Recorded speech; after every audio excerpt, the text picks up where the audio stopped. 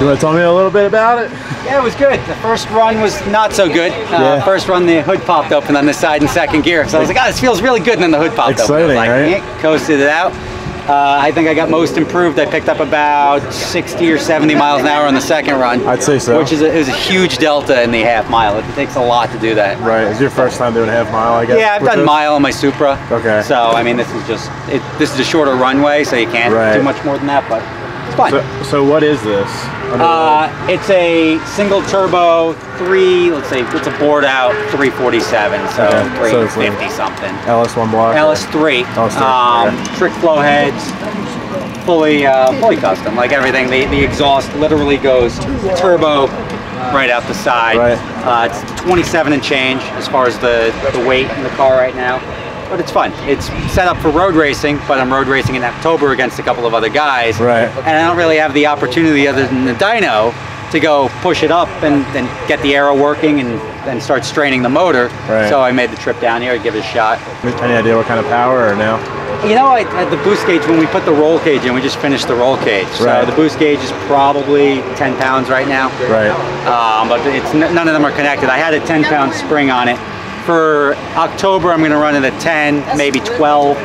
Uh, and then we're going to go to like 18 to 20 in January when we're bringing like open casting call for everybody. Oh, yeah. Uh, and then we're either going to blow it up spectacularly or we're going to whoop some ass. So. By the way, guys, he doesn't need any introduction, but Rob Ferretti, go check out his YouTube channel. Go check it out, and uh, we're gonna see what else we can do. So, You got good it. luck, yeah, man. hopefully I can squeeze a couple more mile an hour out of it while I'm out there. Badass, I'm man. still uh, first pass was solid first and second. Second Yeah. pass I went through fourth. Now I'll One more gear. uh, probably catch fifth gear next run out. awesome, man.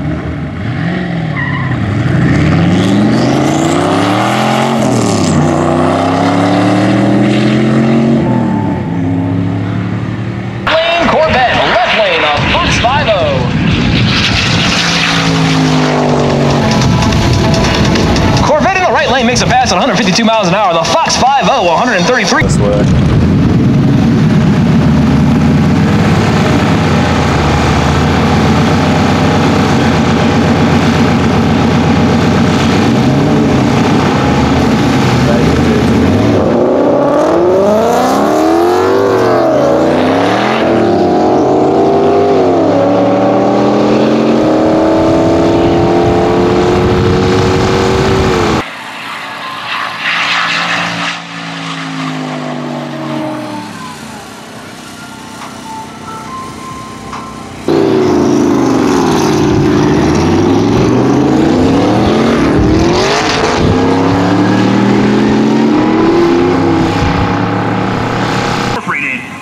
IAP Racing.